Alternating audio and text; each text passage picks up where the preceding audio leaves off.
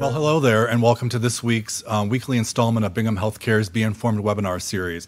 I'm your host, Michael Brandis, and it's a pleasure to be here today with you. I'd like to thank all of our viewers who are watching this on Facebook.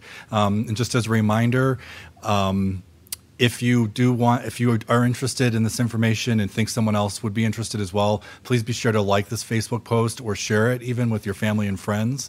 Um, the other thing um, that to note is you can also find the the Be Informed webinar, or all of our Be Informed webinar series um, on the on our YouTube page. Bingham Memorial um, Hospital's YouTube page um, has all of our, our webinars.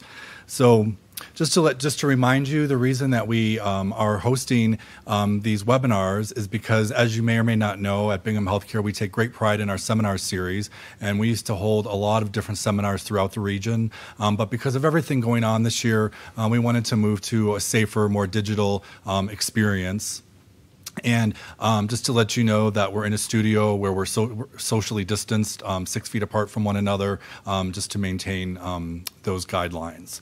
Um, so the, at first, I'm, the first thing I'd like to do is welcome our um, doctor, Dr. Nathan Richardson. His specialty is orthopedic and arthroscopic surgery and sports medicine. Welcome, Dr. Nate, Dr. Richardson.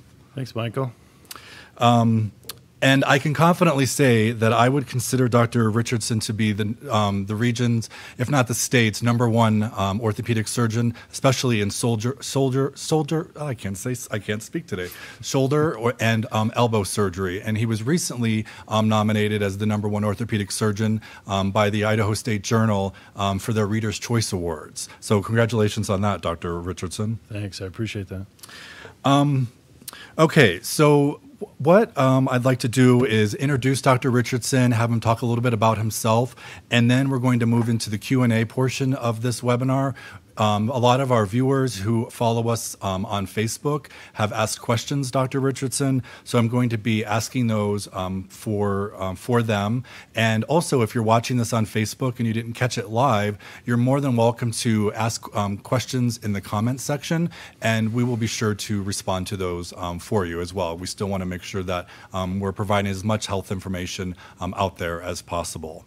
Um, so, Dr. Richardson, why don't we start with um, maybe a little bit about yourself, um, what you studied for your undergraduate degree, and um, what inspired you to go to medical school? Well, uh, ooh, that was a long time ago. Um, I went to my under. I did my undergraduate at the University of Utah, and I was in exercise science because my original plan was to do physical therapy or uh, work as a personal trainer. But the more I got into that, field, I realized that therapists often take orders from doctors, and my personality is such that I like to be at the top of the totem pole. So I decided that uh, career in medicine was likely going to be more applicable. Okay, excellent. Um, and just to let you know, um, Dr. Richardson is board certified um, in orthopedics, and he is also fel- fellowship trained in shoulder and elbow surgery, um, and that's from the Center of Orthopedic Research and um, Education, also known as CORE, um, the CORE Institute in Phoenix, Arizona. That's right. Dr. Richardson, what, before we get into the questions, would you like to talk a little bit about what specific um, specialties you um, you specialize in, like for example, rotator cuff repair, tibia, um, dislocations. What could you elaborate a little bit on why people um, would want to schedule an appointment and see you? Oh, sure. So most of what I do here in Southeast Idaho is shoulder surgery because there's just a lot more volume of shoulders. I'm also specialized in elbows. So anything in the upper extremity from the elbow to the shoulder is kind of where I like to be. The um, passion that I have is actually for shoulder replacements, as these have become much more intriguing and popular. Uh, there's a lot of research going on in that right now. We've had uh, extreme advances in some of our implant designs that have made outcomes even greater than they were, you know, five, ten years ago.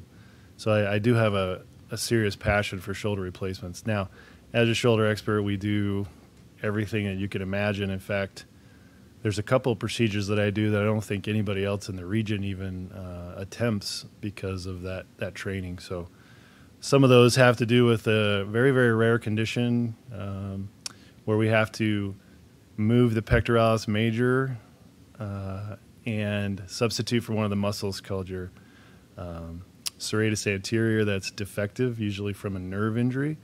The other one is something called a snapping scapula. If you've ever been told that, that you have this, there is a surgical solution for that. Um, but other than that, you know, the bread and butter rotator cuff repairs, instability, slap tears, bicep problems, you know, impingement, any of these things that you've heard, uh, we take care of on a regular basis. And I um, also I was going to ask you this a little bit later um, in the webinar, but I thought this might be a good place. One of the things that is pretty that's unique um, for for the area, um, and I don't know that a lot of people have these, but you specialize in 23-hour shoulder joint replacement surgeries. Is that correct? Yeah, the uh, a lot of the advances, as I mentioned earlier, have been in implants, but uh, parallel to that, we've had advancements in pain management, blood loss, uh, control, you know, symptomatic relief right after surgery. So we haven't had to keep people in the uh, hospital as long. And so, yes, one of our goals is to try to move at least 90 to 95 percent of all of our shoulder replacements to what would be termed an outpatient shoulder replacement. Um, well, so it's almost as if someone could have their shoulder surgery and then be at home that same day. Yeah, we've I've, I would say we have about 50 percent of them doing that now. Okay. Um, excellent. And I know I, what I wanted to ask you is um, what is your what is the, your average wait time for surgery? Well, I personally try to keep that within a month. Uh, okay. So if you've come and you see me and we decide to do surgery, we try to get it done within at least the four week period since we saw each other. There's multiple reasons for that sometimes the pathology changes. Sometimes um, there are timetables to repairing things like rotator cuffs, or if you wait too long, it makes the surgery a little more difficult. And then there's just the regular old, you know, patient relations. You want to make sure that you're taking care of them in a timely manner because they got life to move on with and things they want to recover from and get back to their own, you know, regular schedule. So I think treating patients uh, in the center of your care instead of putting it off to you know, for whatever reason, as a surgeon, uh, you just make room and you make time, and they become your number one priority. Okay, and I think it's important to mention at this point as well, as I know that we're nearing the end of the year, and a lot of people like to have their surgeries done um, um, based on their annual deductible. So a lot of people are trying to schedule surgeries. Um, at, it's important to mention that at Bingham Healthcare's orthopedics and sports medicine, and in particular Dr. Richardson, if you are out there and you are scheduled to have a shoulder surgery or elbow surgery, um, but you aren't able to have that surgery done until next year, um, Dr. Richardson is extremely patient centered and always likes to leave a few slots available so that um, we, he can squeeze people in um, for their shoulder surgery um, by the end of the year if possible. So if you would like to have your surgery done this year, um, you'll want to call Dr. Richardson's office and see um, if there is some availability that would work um, for you and your schedule. And again, I haven't mentioned it, actually, not again. Um, Dr. Richardson actually sees patients in Pocatello. Uh, he sees patients at the Physicians and Surgeons Clinic of Pocatello um, off of 1151 Hospital Way. And in addition, he occasionally sees patients throughout the month um, in Soda Springs. So if either of those locations are convenient for you, um, you can schedule an appointment with Dr. Richardson. And the main number to call to schedule an appointment with Dr. Richardson is 208 239 8000. Again, 208 239 8000. Um, the other thing to mention today is we. Um, there you can find out a lot more information about Dr. Richardson on our website at binghammemorial.org. Again, binghammemorial.org. Under Find a Doctor, you can look up Dr. Richardson's um, bio and learn about all the different surgeries that he performs and all of his specialties um, if there's something that you don't hear um, or that's not addressed here today. Okay, so Dr. Richardson, I think we're going to go ahead and move into the Q&A portion of this webinar. Okay. I have several questions again from viewers that have been watching um, and have been providing, um, who have been asking questions. And I just want to preface this by saying that even though Dr. Richardson is giving you um, his best answer possible um, to the question that is being asked, you should know that it should not be considered as a diagnosis. Um, you'll always want to meet with your doctor in person to be able to get a full exam um, so that you can be 100%, the doctor can be 100% sure. So this is just an in general response Q&A session. Again, you'll want to see your, um, your doctor or Dr. Richardson in person to get an actual um, to get an actual diagnosis. Okay, so the first question that I have here, a, a viewer has asked: I am in recovery from repairing t- um, from repairing tears in my shoulder. Is there any way to know if you are if I am overdoing it, even if there isn't much pain? Um, that's a that's an interesting question. Uh, a lot of that has to do with which tears uh, you're referring to. I'm going to assume that they're talking about rotator cuff tears, since it's a very common injury. And my advice to my patients is that pain is usually your best guide. Um, the type of pain is always uh, a little difficult to describe sometimes, but I usually tell patients if it's a sharp stabbing pain, that's likely not a good thing. But if you have some dull, achy muscle soreness or stiffness, that's very common after a shoulder surgery. And the further you get away from your surgery, the less and less of that you should have. Uh, the biggest caution I have for people in the postoperative period is just to not trip, slip, or fall. And I think I tell my patients that four to five times from the time I meet them to the time they're done recovering. But if you can stay off the ground and avoid gravity, you're likely going to do fine, whether you have dull, achy pain or not after your surgery. Pain after rotator cuff repair is very, very uh, variable. There's a large amount of you know normal pain after there. So sometimes it's really hard to describe that. But as long as you're uh, within you know a tolerable range and you're not having you know mechanical type things happen to you like falls, or if you feel a pop that remains painful uh, more than 24 hours, that's usually a sign that something may be wrong. I would report that to your surgeon immediately. Okay. Um, the next question that we have from our viewer from our viewers is: My shoulder surgery has has fixed my dislocation issues. However, within the last year, the pain has worsened. Could it just be scar tissue? Uh, I can get to the point where I can't move my shoulder at all. Uh, so shoulder instability is a mixed bag as well. It's really um, all over the board sometimes with with people's response to the shoulder surgery to stabilize it. And some of it has to do with how young you are, how long the dislocations have been occurring, how many that you've had, what's the type of procedure that you had performed, because there's more than one for shoulder instability. And uh, the, the the real tricky part is you can develop arthritis in your shoulder. Unfortunately, if you've had a long history of instability, as well as multiple dislocations and you're a little older like you know above 30 to 40 years old if you've been dislocating for 10 to 15 years the cartilage unfortunately can wear out. So even though you've stabilized the shoulder that arthritic condition will continue to progress. And with that kind of question that he's asking or she's asking i would anticipate uh, that'd be my biggest concern is that you've developed arthritis that's now causing your pain rather than an instability. So you shouldn't continue to have pain after the shoulder's been stabilized if everything's going correctly. Stiffness uh, after shoulder instability surgery is is fairly common.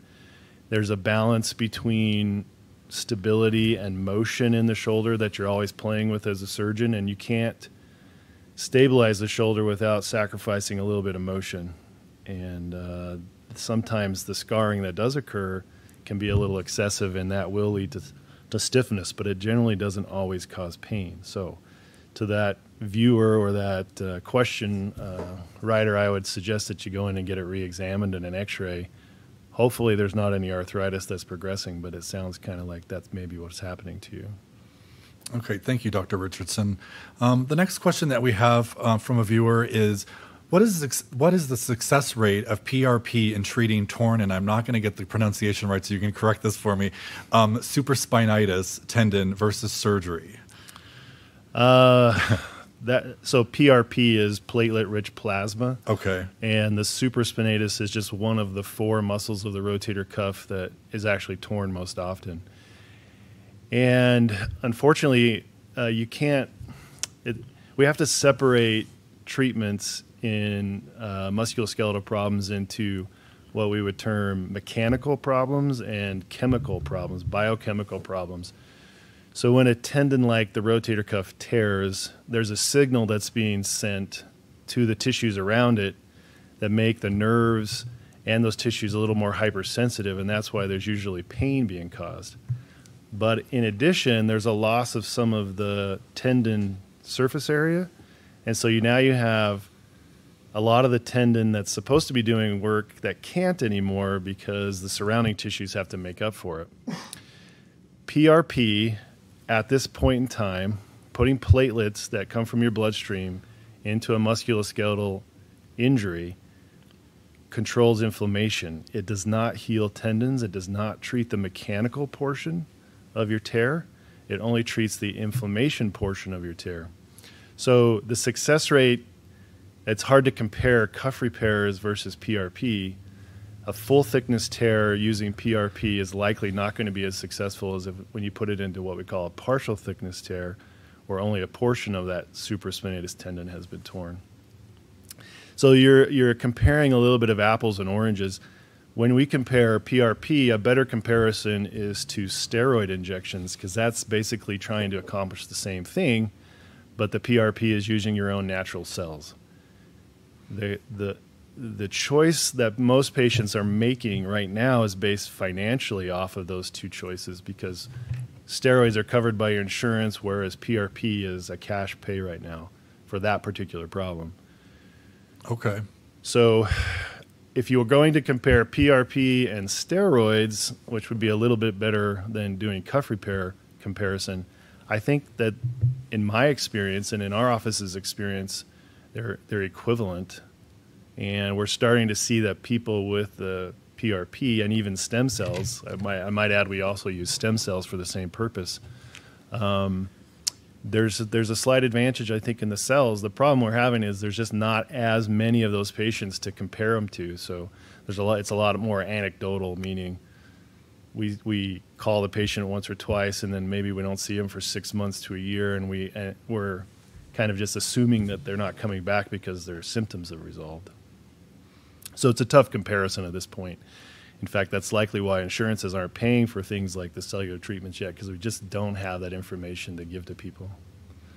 I will, I will add that you need to be very cautious when seeking out providers who do these cellular treatments. Uh, PRP only comes from your body, but stem cells can be harvested from your body or they can be prepackaged, like from amniotic fluid. So be very careful about which ones you're using. Uh, try to do your research, know who your provider is, be very, very cautious about who you choose because there are a lot of people who will overcharge and provide you with a product that may not be as good as the ones that we can harvest from yourself. Okay, thank you, Dr. Richardson, for that information. Um, the next question that we have from a viewer is My recent MRI diagnosed me with two full thickness, thickness tears and up to 3.7 centimeters of retraction, also a slap tear. Options what options does this viewer have um, to have arthropo- arthroscopic reattachments? Uh, so those are really that's really good information. There are a couple of points there that we look at when we're talking about cuff repair whether it's possible or not i think that's a hot topic uh, because of a newer implant that's been shown to be very predictable it's called a reverse shoulder replacement and one of its uses is to fix shoulders that you can't repair the rotator cuff on. So I'll just give you some quick points that we think of as surgeons as to whether somebody can actually heal a rotator cuff tear. So the first one is how old is the patient? We notice that healing rates start to decline in rotator cuff repairs at the age of 65. Now, does that mean if you're 66, you can't repair your cuff? No, it's just one of the things that we think about. Um, the size of the tear. So when we talk about the size of the tear, we're talking about the front attachment of the cuff as it moves backward. Um, the rotator cuff is unlike some of the tendons in our body. It's like a sheet of tendon where these four muscles converge together. Unlike some of the tendons you have in your wrist or your hand, they're like little ropes. So you have to think of it more as when it's tearing, like you're opening a zipper or a Ziploc bag. It starts in the front, and as it tears, it kind of moves backwards. So the size of the tear, one centimeter, two centimeter, three centimeter, these are all different size tears. The smaller the tear, the easier it is to heal. It's also the easier to repair. Um, so a three centimeter tear we would call, call a, a, moderate to a large size tear. The, the reason that is the way it is is the surface area that you're trying to heal back, the larger it is, the more scarring that has to occur, the more work your body has to do, and the higher chance that it won't be able to complete completely scar back to that surface area. The other thing that we think about is how long the tear has been there, how retracted it is. Uh, rotator cuffs are very elastic. The muscle is pulling on a, a stretchy tendon, and if that tendon's been torn for 12, 18 months, a lot of time the tendon itself is so thin and kind of atrophied that you can't even get the sutures to stay in it. And the muscle itself has become so rigid that you can't pull the tendon back to where it belongs. We get an MRI not only to diagnose the tears, but to look at the quality of the muscle and the quality of the tissue that we're going to try to fix. We look at things that we call atrophy. So if a muscle is supposed to be this big in cross sectional area and over the years you haven't fixed it, it will shrink and shrivel. And there at some point we have to say, well, it's just probably not even going to recover even if we can reattach the tendon. There's also a process that occurs in rotator cuffs called fatty infiltration. And you can see that on an MRI where the muscle fibers are being replaced by fat uh, storage deposits. And that also indicates to us that it's a very unhealthy muscle that will be very difficult to repair. So if your little points that I'm talking about, your age, the tear size, the length of time it's been torn, the quality of the muscle aren't adding up to a good probability that we'll be able to fix the tear, then we often talk to the patients if they're in an age range where a, a reverse shoulder replacement is much more predictable. So that age is also coming down. We used to be 70 years old. We'd say, you know, we probably should wait until someone turns that to 70 before using this replacement. But there is ongoing research and evidence that people as young as 60 do very well with those. And so if I get someone who's in their mid 60s with a bad looking tear, we often will talk about a reverse replacement because it's much more predictable. You only have to be immobilized for a short period of time, two weeks versus six or eight weeks. And usually at six months, people with reverse replacements are off and going and they're back to life. And people with bad cuffs that are very difficult to repair, I'd say 50% of them are back in the office with a re-tear, and the other half are still struggling to get back to their normal behavior and their normal activities. So it's always a discussion that generates a lot of time and education for the patients just to make sure that they know what it is they're getting into, and we allow them to kind of pick the surgery that they think they're willing to accept some of the risks and the benefits with because uh, each one has its own little set of problems that we have to deal with. But uh, that's that's a tough question, and uh, that's one, as you just witnessed, takes a lot of time and energy to evaluate. So, uh, good luck with the tear. Hopefully, it's repairable. Okay, and again, um, for this viewer who asked this question, if you would like to get in with Dr. Richardson to get you know a full consultation and, and have him um, work with you um, um on this, um, feel free to call and schedule an appointment with him, um, and he'll be more than happy to help you however he can. the other thing you mentioned reverse shoulder replacement. Could you go talk a little bit about what that is exactly, maybe compared to shoulder a full shoulder replacement? Or partial. Right. So there's two types of shoulder replacements. Uh, the reverse replacement, I get a lot of people asking me if we put their arm on backwards or if they have to, you know, walk around on their hands. But uh, what it means is in our normal anatomy, the humerus, which is the bone that goes from the shoulder to the elbow, has a ball on it.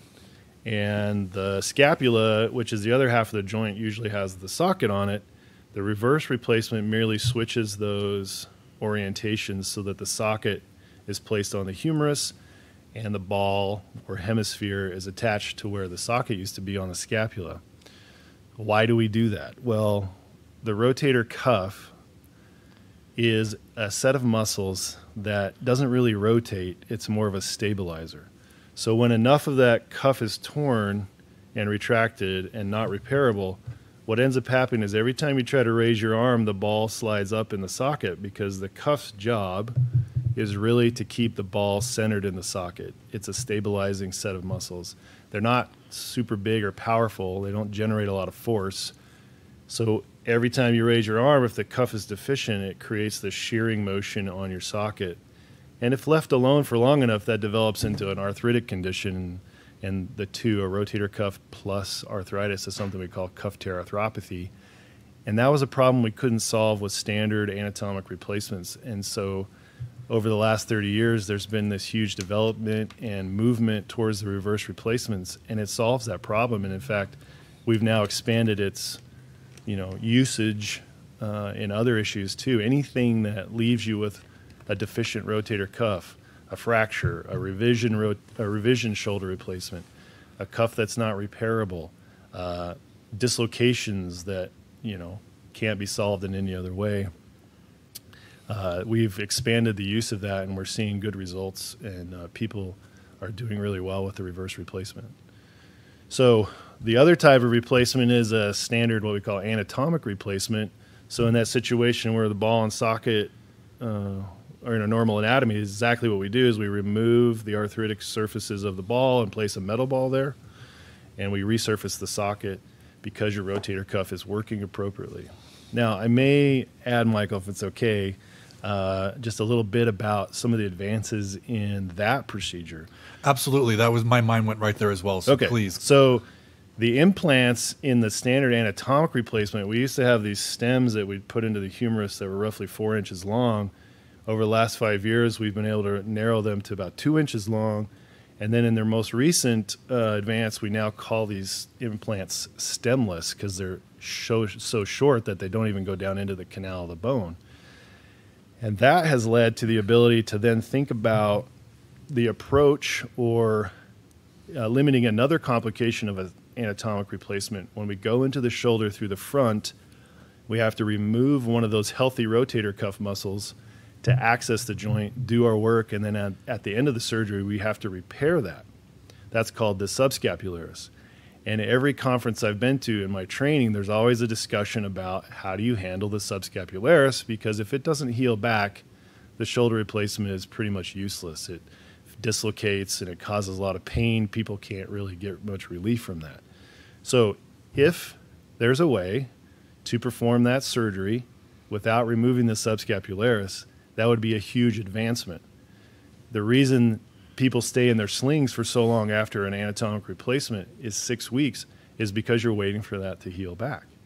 Now, a reverse replacement, the way that I perform it, we don't have to repair the subscapularis, and so people are in their slings for only two weeks.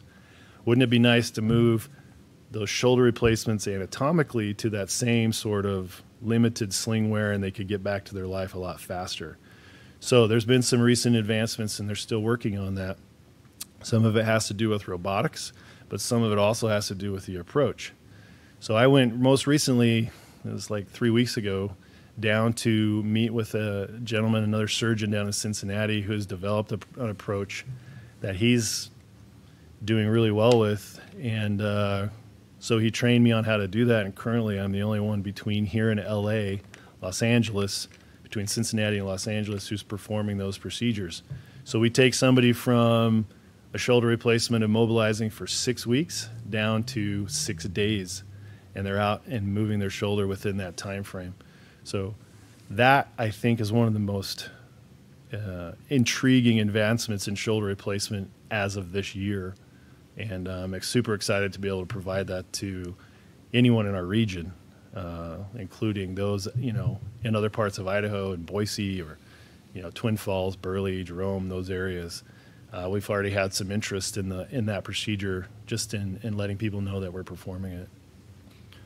That's excellent, Dr. Richardson. Thank you very much for um, for talking about that. I, I really appreciate it. Um, another question that just came in from one of our viewers is Will I lose my range of motion after surgery, or will I have to sacrifice um, doing some of the activities I used to enjoy? Uh, Maybe tricky to answer. Did they did they mention which surgery they're referring to? Some surgeries are a little more prone to having stiffness in their shoulder afterwards. Let's go with um, I'm I would assume let's go with shoulder replacement. A replacement. Yeah. Um, so when anytime that we put metal and plastic into your body in order to resurface your joint, there's going to be some limitations. So when we talk about the results of a shoulder replacement, we often talk about getting two thirds or you lose one third of the normal motion that you typically would have had before. So it's not like we're putting in a brand new shoulder where you go back to when you were 16 and throwing baseballs and footballs and things like that. It is a pain relieving operation that allows for you to have a somewhat better function. But it, you're, there, are, there are three things I found that I would say certainly don't do after a shoulder replacement. Number one is bench press. You know, you go to the gym and you throw up these weights. That that's kind of a no-no. Have I had patients doing that? Yes. Yikes. Should they be doing it? It really worries me. Uh, the other one is very similar to that. So push ups, we try to have you avoid doing any of those. Oh. And then I had um, a patient in the Caribou County area who was a cement worker. He owned a cement company, and he asked me if he could use a jackhammer for breaking up cement. And I said, eh, it's probably not a good idea. so those are the three things after a replacement that I often tell people not to do. There are some surgeons in the country after a reverse replacement who try to put a weight restriction on it, like 20, 25 pounds. I don't usually do that. I just ask my patients to listen to their shoulders, and they usually are told by their own shoulder what it will or will not do. So we've got shoulder replacements playing golf, hunting, riding horses, back on the farm. I've got one who's a professor of um, wilderness survival here in the region, and he's he's been back doing that on his own. You know, camping out in the middle of nowhere. I have miners who are panning and digging for gold. I mean, we've got all sorts of things that people do after their shoulder replacements that are very very uh, active and entertaining. But those three things I often tell them not to do. Okay, thank you, Dr. Richardson, and thank you for elaborating on the types of patients you see. I have the impression that sometimes when people hear about an orthopedic surgeon, they may, for some reason, just only think that orthopedic surgeons um, see um, athletes, when in fact you see people of all ages um, and help with a variety of different um, issues. That's correct, right? Yeah. So, as a shoulder surgeon, I mean, there's pathology of your shoulder all throughout your entire life. Uh, so, I treat a spectrum of that if you're a dedicated athletic sports surgeon, a lot of times you do a lot of things through cameras, and those are often treated, you know, in a younger population. But when we have arthritis, uh, dislocations, rotator cuff tears, those can be in a later age, usually once they're, you know, 65 or older. So there's a lot of people in that, you know, in their in their retirement years who need shoulder work because they're just worn out. Okay, and the other thing I was going to um, ask you about is, how, I guess the really the way that I want to say it is, how is it that someone would know if they need to schedule an appointment to come and see you? For example, with the shoulder or with the elbow, I imagine it could be a little bit difficult to for someone to think, oh, I, something's wrong with my shoulder, or I'm just wondering how the pain, how people, what people commonly come to you with, what ailments, what kind of um, what kind of ailments and how, how do they present? So that if someone is experiencing that and maybe think oh maybe i just have a knot in my shoulder or kind of keep taking over the counter pain medications for for pain um, how would someone know if they they're having problems with their shoulder? I imagine you would know but how would you know if you were having well problems? I'll, I'll tell you this. So 100% of people come because of pain but pain is not what we're looking for as an orthopedic surgeon we're looking for mechanical things that we can fix. So, what I'm assessing when somebody comes into the office, and you can think about this at home, is whether you have weakness in things that you're trying to accomplish, whether you have stiffness that seems excessive, and the other is mechanical instability. So, if your ball and your socket seem to be slopping around, if the end of your clavicle isn't stable and it's shifting and popping and clicking, those are all things that we can solve. Pain can be caused by a lot of different things. In fact, all the nerves that run from your neck to your hand travel through your shoulder. And so there's often pain syndromes that we can't mechanically do anything about as shoulder surgeons. So I am looking, and people can assess this at home. Surgery really solves those mechanical issues. We can do things other than surgery for things that are just causing pain that aren't necessarily a mechanical solution. So if you have weakness, if you can't raise your arm up, if you can't lift a, a gallon of milk, if you can't uh, hold things that you normally would hold, if your weights on your right hand are less than the weights on your left hand because things are just feeling different, those are the kind of things that we can solve. So if you have pain and weakness, that's usually a pretty heralding event when you start having weakness. Stiffness. Stiffness is caused mainly from loss of motion. I mean, that's the same sort of synonymous, synonymous word. So if your shoulder can't move the way it once did, if you can't get to your back pocket, if you can't raise your arm overhead because it just won't get there, those are things that we can solve generally too. And then instability, which is usually somebody knows they have instability because they've dislocated their shoulder, and it's not a that one's typically not too unclear because they come in with a history of saying it just won't stay in place or I've got this sloppy shoulder that um, hurts a lot. I will tell you that uh, one of the unique groups are young athletes who just have shoulder pain who are doing a lot of overhead things. And I found a lot of that here in, in Idaho, something called multi-directional instability. Uh, I see it a lot in swimmers. We see it a lot in throwers. I see it a lot in cheerleaders. Um, and that's a more difficult problem because they may not have had a dislocation, but yet they have loosey goosey ligaments that okay. just lead to the ball and socket not being able to stay, you know, connected to one another. And so this ball of your shoulders slopping around in the socket and it causes pain. So we do a lot of therapy to help solve that, but it, eventually uh, a, a, large number of those people can't solve it that way, and so we have to do surgery on them. So if you're a young athlete, does a lot of overhead, and you have one shoulder that just isn't feeling well, you had a minor injury to it that never got better, that could possibly be a thing, and that and, and that that's a genetic related problem that we can't – change your genes, but we can hopefully tighten your shoulder enough and it'll stay, you know, stable for a while you need it to perform. Um, that, Michael, is interesting because I've seen a lot more of that here in Idaho than I have in other places that I've trained in Virginia or even in Arizona.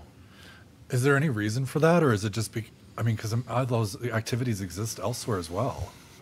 It's a problem everywhere. I'm I'm just telling you from my own personal oh. experience. I've seen a lot of it here, uh, and it being genetic you know, it may oh. just be that there's some families that have that within their genes that you know are just getting passed around. So I don't know. I can't explain it to you. Oh, okay, interesting. Um, the other thing that I was going to ask you that kind of maybe piggybacks on this a little bit is, I imagine people are afraid of coming to see you not because of you, you but because I don't know because of their condition. Um, I think they put off on they put off or procrastinate um, coming to, to get an exam from you if they're experiencing shoulder pain, for example. Um, but I know that I've heard so many other orthopedic surgeons say that that the fears that that patients or prospective patients have that surgery or treat different tr- there are so many different treatments it doesn't that they don't have to automatically think oh my gosh i'm going to have to have shoulder surgery. There i know that there are so many other treatments that you um, you try first before you get to surgery before you get to surgery. Um, what are some of the reasons why people really procrastinate coming to see you if they're in severe pain in their shoulder? Or is that am i making that up? Um, what are some reasons why people choose not to address their surgical problems? Yeah uh, I think the biggest reason is, like you said, I mean, it's fear. We're going to, when we talk about surgery, we're causing pain. We're doing surgery that we have to invade your body in some way and alter it. So I think it's a healthy thing. I think people should be somewhat concerned about their surgery. And that's not necessarily like the outcomes of the surgery, like after it's healed and whatnot, but we are we have gotten so good at anesthesia that I think some people forget that it can still be dangerous. There can still be things that go wrong with your heart or your brain or your lungs or your kidneys. Like we're pretty good at it, but it can still be detrimental. So there's risks anytime we put somebody to sleep. There's risks anytime we operate on them. You know, infection is always a risk. So we haven't never been able to get rid of all bacteria or viruses in the world. So, I mean, there are things that can go wrong with surgery, and so I think it's healthy to have a little bit of apprehension about it. Um, maybe your viewer is more, or your question is more along the lines of should I have a knee replacement when I'm 55 or a shoulder replacement when I'm 60 versus 70? Should I live a decade in pain or should I have surgery to solve that problem and accept some of the consequences maybe later in life? I, I have that conversation all the time with somebody about replacements, especially, and there's no real good clear answer with that. Um, I usually just give the patient the information and, and, and, let them make that choice themselves because I am the surgeon and it doesn't hurt me at all to do the surgery, but the patient then has to live with you know the consequences or the you know risks that come with having metal and plastic in your body, which can be devastating at times. So we are really good at what we do, but we're not 100% perfect. So I think that's where people's apprehension comes from. They may have heard of a bad outcome from a friend and uh, that can really be concerning. And I think that's okay. And part of my job as a surgeon is to kind of help alleviate some of that by giving them a broader understanding of what the experience is of more patients. But you know, if I were going to have surgery, I'd have a little apprehension about it too. Okay, thanks, Dr. Richardson. I think maybe to elaborate on that a little bit as well, that people may or may not know who are watching. Um, that it's not just a matter of you know you come in and you're diagnosed and you have to go right into surgery you know right away or maybe there are such accidents or certain situations where that is the case but if it's something that's planned ahead of time um, that dr richardson does offer pre-op or pre-op classes or classes that um, all of his patients are required to take before they actually have surgery, and it actually talks to the, the patients. It's a really intense, um, intensive class that provides a lot of really great in- information to reassure patients um, about what is my surg- what my surgery is going to look like, what it's going to look like, what's going to happen the day, what do I need to do before the, the surgery, what do I need to do the day of the surgery, um, and then there's tons of information that's provided um, on all the safety precautions and safety measures um, that Dr. Richardson wants his patients to take um, after surgery. So that's there's it's a very all-inclusive. Um, that his team um, basically hold the patient's hand all the way through, just to calm or assuage any fears, just so they're very uh, 100% clear about what to expect before, during, and after. Is there anything else that you'd like to add on about that?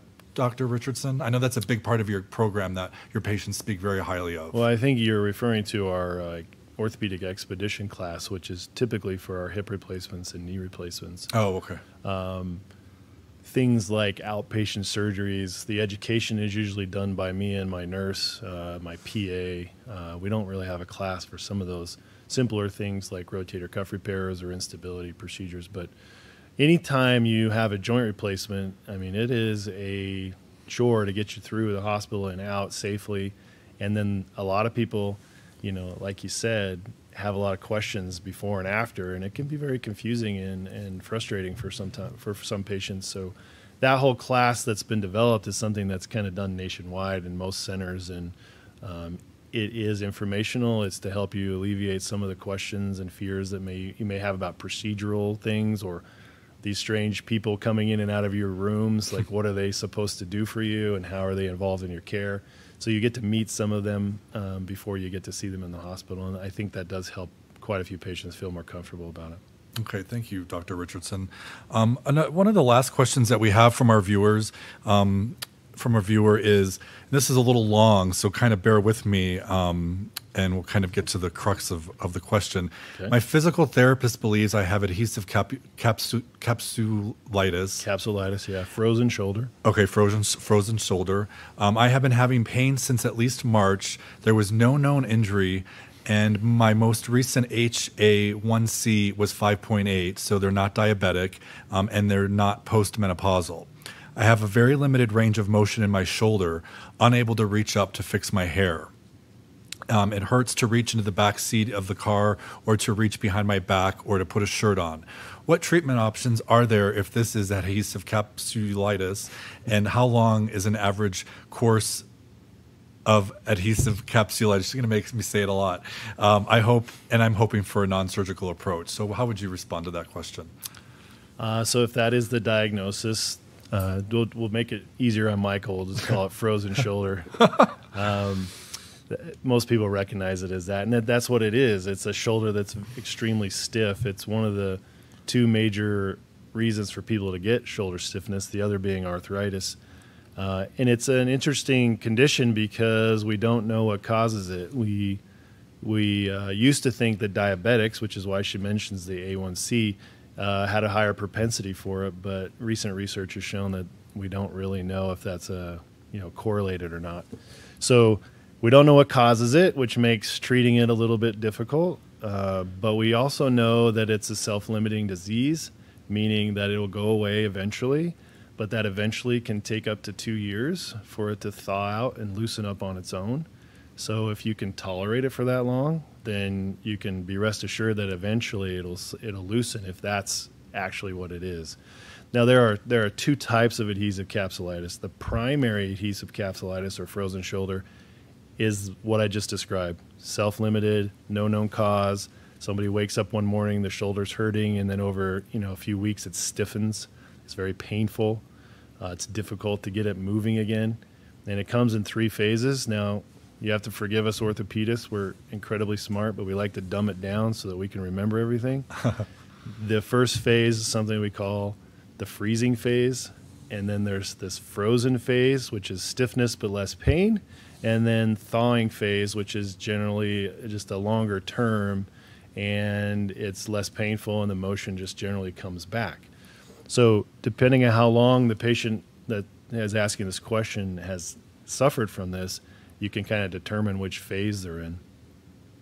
We don't do any intervention, surgical or non surgical, during the freezing phase because it just makes things worse. But during the frozen phase, you try to maintain the amount of motion that is there. And usually that's a physical therapy type thing, which can be done at, with a therapist or at home. We often will inject them with steroids. There are a couple of intra office procedures that I've read about recently. Tried it one time, not sure I like it, but uh, you may hear somebody call something called hyperdilation which is where we numb up the shoulder, stick a very large needle with a bunch of saline in it, and we just push until the capsule pops. And hopefully that will loosen the shoulder. Sounds awful, but it's not it's not as terrible as it sounds when we do it. Uh, and and some some people are using ozone. I've never injected that myself, but I know a lot of pain specialists are doing things like that. Um, where was I? Oh, uh, in the thawing phase, if you've reached the thawing phase where it's less painful and it's already loosening, then just let it, you know, run its course. There's really not a lot you have to do with that. So it's those people in the frozen phase, whether they can tolerate the length of time where their shoulder is trying to get through that. And that's the most frustrating phase because it is painful and it is very stiff. And so it's difficult sometimes to manage through that portion of it. But if you're if you're mentally tough, you can usually get through it. Surgical treatments for a frozen shoulder. Oh wait, I got to go back. We talked about primary, the secondary frozen shoulder. Um, this is a little more tricky because what happens is something else is wrong with the shoulder a rotator cuff tear, a slap tear, a dislocated AC joint or shoulder, where the patient just kind of supports the arm and doesn't want to use it then it gets stiff. That's something that comes as a secondary cause because the patient doesn't want to use it. That is usually very treatable because if you treat the underlying problem, then the shoulder can start moving again. It's less painful, and that goes away a lot quicker, usually within three to four months after you've treated the underlying uh, problem with the shoulder. So you have to decipher which type of shoulder, uh, sorry, frozen shoulder that you're dealing with first surgical treatments for primary frozen shoulder are they're somewhat barbaric. oh gosh. So because this tissue we call the capsule, which is why they call it capsulitis, is usually very thin and pliable, it's stretchy. The problem in that condition is it gets very thick and rigid. So we can take it to the operating room and force the shoulder to go where it belongs after putting it to sleep. And it does make these audible sounds of popping, crunching, cracking, uh, but it usually gets their motion back quite readily. Then they go immediately into physical therapy after that to try to maintain the motion that they've you know we've achieved in the operating room. So not a lot of really great advancements on the frozen shoulder side of things, but you know people are trying new things all the time. I would just be cautious about, like I said, who's injecting you with what they're injecting you. You just have to be careful that it's a safe sort of procedure for them. Okay, thank you, Dr. Richardson, um, for answering that question for our viewer. And you know, for our viewer, if you're not seeing, imagine you're not currently seeing Dr. Richardson, but um, if you'd like to schedule an appointment with him um, to further discuss this and treatment options, um, I would highly um, recommend um, scheduling an appointment with Dr. Richardson. so we are at the end of the question of the viewer questions. I thought this has been a really great conversation, and I hope that our viewers have been able to learn um, a lot of things that they might not have known, or things that are potential that could potentially help them. In our conversation, Dr. Richardson, is there anything else that you would like to elaborate on? Um, talk about things that you haven't that you treat, um, but weren't able to talk about today, or anything else that you'd like to, or any of our viewers to know about you or your um, pr- your practice? Uh, I think that what I'd love for people to understand is that Southeast Idaho is not you know isolated anymore. We've got excellent uh, surg- surgeons here in the area. We've got some of the best in the region here in the area. So don't consider traveling too far to get things done that can be accomplished right here in your in your own neighborhood. Um, I hear a lot of times people are being referred to bigger cities like Boise and Salt Lake City because the surgeons may not know that they have a specialist like myself here in town. Um, things like revisions or very complicated fractures of the shoulder are often being sent down. Uh, complicated problems like a nasty infection of a joint replacement. I know these things are being sent other places, but uh, make sure you understand that we have excellent surgeons and great outcomes in our own little you know region of southeast Idaho. And as I mentioned, we're doing things here you know at the hospital in Blackfoot that aren't being done anywhere between Cincinnati and Los Angeles. So have confidence in who we are and what we can do, and we, we do take great care of you. Thank you, Dr. Richardson, for sharing that. And it's absolutely true.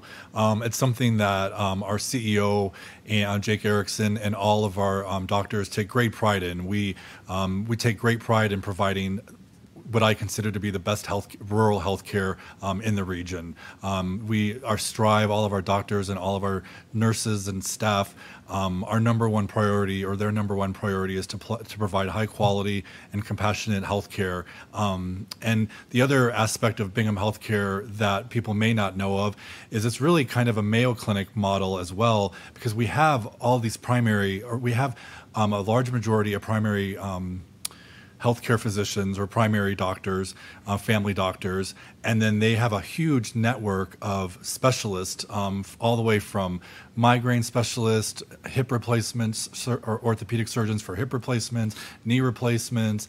Um, we have pulmonologists, respiratory doctors. Um, the gamut. We have a, a, large majority that we are bringing specifically to this region, so people don't actually have to leave eastern Idaho to go somewhere else to have um, their to have their medical conditions treated.